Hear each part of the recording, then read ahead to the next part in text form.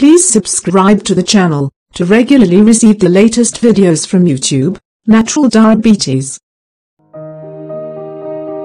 Bitter melon and diabetes. Bitter melon, also known as bitter gourd or karela in India, is a unique vegetable fruit that can be used as food or medicine. It is the edible part of the plant Momordica charantia, which is a vine of the Cucurbitaceae family and is considered the most bitter among all fruits and vegetables. The plant thrives in tropical and subtropical regions, including South America, Asia, parts of Africa, the Caribbean. The bitter melon itself grows off the vine as a green, oblong-shaped fruit with a distinct warty exterior, though its size, texture and bitterness vary between the different regions in which it grows, and is rich in vital vitamins and minerals.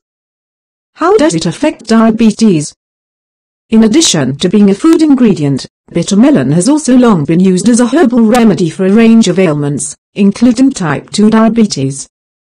The fruit contains at least three active substances with antidiabetic properties, including charantin, which has been confirmed to have a blood glucose lowering effect, vicine and an insulin-like compound known as polypeptide P. These substances either work individually or together to help reduce blood sugar levels.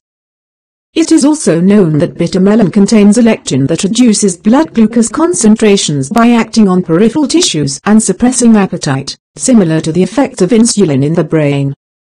This lectin is thought to be a major factor behind the hyperglycemic effect that develops after eating bitter melon. Scientific evidence A number of clinical studies have been conducted to evaluate the efficacy of bitter melon in the treatment of diabetes.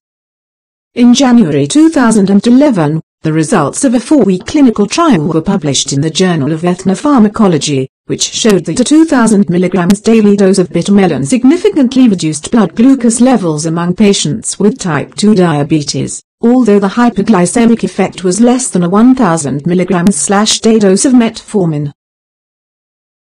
Other older studies have also suggested an association between bitter melon intake and improved glycemic control, while a report published in the March 2008 issue of Chemistry and Biology found that bitter melon increased cellular uptake of glucose and improved glucose tolerance. However, research published in the Journal of Clinical Epidemiology in 2007 failed to show any benefits of bitter melon for poorly controlled type 2 diabetes, while another clinical review published two years later in the British Journal of Nutrition stated that more Better designed and clinical trials are required to confirm the fruit's role in diabetes treatment. What other health benefits does it have? Bitter melon is used in traditional medicine for colic, fever, burns, chronic cough, painful menstruation, skin conditions. It is also used to heal wounds, assist childbirth and, in part of Africa and Asia, prevent or treat malaria and viral diseases such as measles and chickenpox. In addition, researchers from St. Louis University in the US say they have shown that an extract from bitter melon can kill breast cancer cells and prevent them from growing and spreading.